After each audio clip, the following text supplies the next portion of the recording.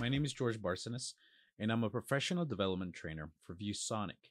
Um, I am excited to show you the classroom uh, sections of what we're working on with myViewBoard.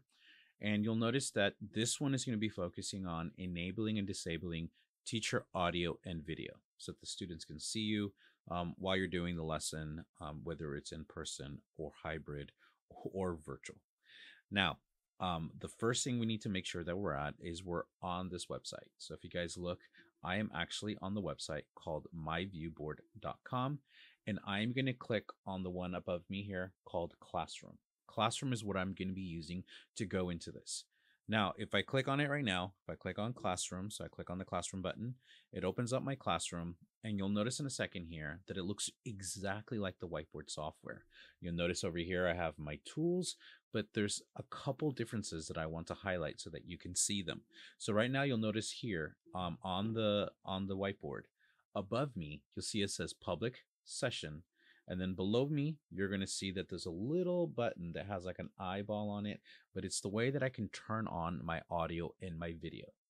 Now, before I do that, I'm going to apologize because it's probably going to give me some feedback. So I'm going to be as quick as I can to make sure I, I limit that because I'm actually recording this and showing this at the same time. But this little settings icon right up above here is where you can actually check where is your audio and settings coming from. So right now I'm going to click on it and you're going to notice right here, it's going to open up um, right now, right over here where it says audio and video. When I click in there, I can actually choose where this stuff is coming from. So right now I'm going to choose to look at, um, do I want my camera to be my FaceTime camera, which is right on my computer here. I can also check to see what I want my audio to be. So right now here below, and you can see that the little red line going out, I can even test my audio if I need to. So I'm going to close this out right now, and then I'm going to turn it on. Now, to enable this, what is this going to do? So I'm going to show this in two different ways. I'm going to show you this, uh, what it looks like um, for you as a teacher, what it looks like when you're um, going through um, the dashboard, and what it looks like for the student. So I'm actually have myself in the classroom a couple different ways. Um, I have already opened up my dashboard. Your dashboard will be right down here. And you notice this is going to be the tab for my dashboard, and this is the tab for my student. So I've actually joined my own session. So if I click on the dashboard tab right now, right above here, you'll see that here are what my classroom looks like, and we'll spend some time on the next video looking at this. So right now you notice I have two students in this classroom. This is what my dashboard tab looks like. And you notice there's a spot in the video, in the middle where there's no video. If I click on the student dashboard, if I click up above me now, so I'm going to go up here and click above me, you're going to notice now I'm on the student side. What they see is a whiteboard with some pen tools on the on the bottom, but over here there's a spot for my face. And so I want to show you what that looks like. Okay, so right now this is the student side.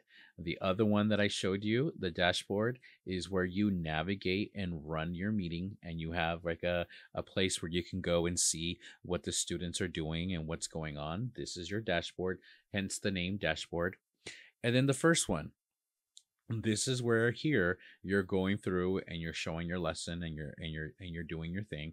This is where you're running the meeting and going through. So for instance let me just go and write something on this so you guys can see uh, what this looks like here. So right now what i'm going to do is i'm going to come over here click on the pen tool. So right here the pen tool and then i'm just going to write my name george. So i'm going to go here and write george okay? So if you notice when i click here and write george there's my name if I go to the dashboard, you'll notice that uh, above here, here, um, this is where I can navigate, see the students. And then on the view board, this is what the students will see. And notice right here, there's my name. Now let's put not only my name, but let's put my face over there so the students can see me. The way that we do that is in here in the, the place I'm doing. Remember up here it says public session. I'm running, I'm doing my meeting. I need to go and turn it on. And the way to turn it on is by clicking down here on this little button down here on the bottom right. This button over here that shows uh, the little uh, play button. And when I click on it, it's going to go and say share my audio and my video. The first time it's going to ask you, um, do you want to share it? And I'm going to be as quick as I can to turn off my microphone. there we go. No, uh, no uh, echo or feedback. This only happens because I'm recording and I'm showing it at the same time. Now, notice I'm here. I'm here on my screen, and I'm gonna write my last name now. So pen tool. I'm gonna go over here and write Barcenas. And then what I do, uh, what I do like is I'm doing what I'm kind of doing right now. See how um, right now, if I click on the arrows, I like that I can move myself um, on the screen as I go through this. So sometimes that's some fun. Uh, or I can leave myself down here. But let me tell you what has just happened. What I've just done is in the dashboard. So remember in the dashboard at the top, I click on the second one. I can now see um, that now inside in the middle of the screen, let me move myself out of the way. In the middle of the screen, um, I can see what the students see. So right now I can see um, this is what it looks like, but I have mimicked it already for you. So it looks like what it looks like for the student. So I'm going to click on the one that I created, which is the student tab. And then here you'll notice in the student section, uh, there's what everything that I'm writing that I'm doing live, and then there's where the student can see me. So here, and you notice I have myself flipped around, so it looks like I'm waving at myself. But here's where I can tell what the students can see, and I can enable and disable my camera.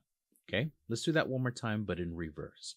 I turned on my camera. Let me turn off my camera. So I'm going to go back to the the the whiteboard that I've been working on. And in this whiteboard, in the buttons below, I have the stop button. So you notice down here, I have a stop button that I can go through and stop it. I have where I can turn my mic on and off, and I can turn my camera on and off. So this is where I can turn it, but I'm just going to click on the stop button right here. And then you'll notice right now, when I click on that, the feed has gone away. And for the student now, they have that empty spot where there's nothing there. So that is the quick way to how to enable and disable your camera so that the students can see you, whether they're in person or virtual or hybrid, that you can have that interaction with the students.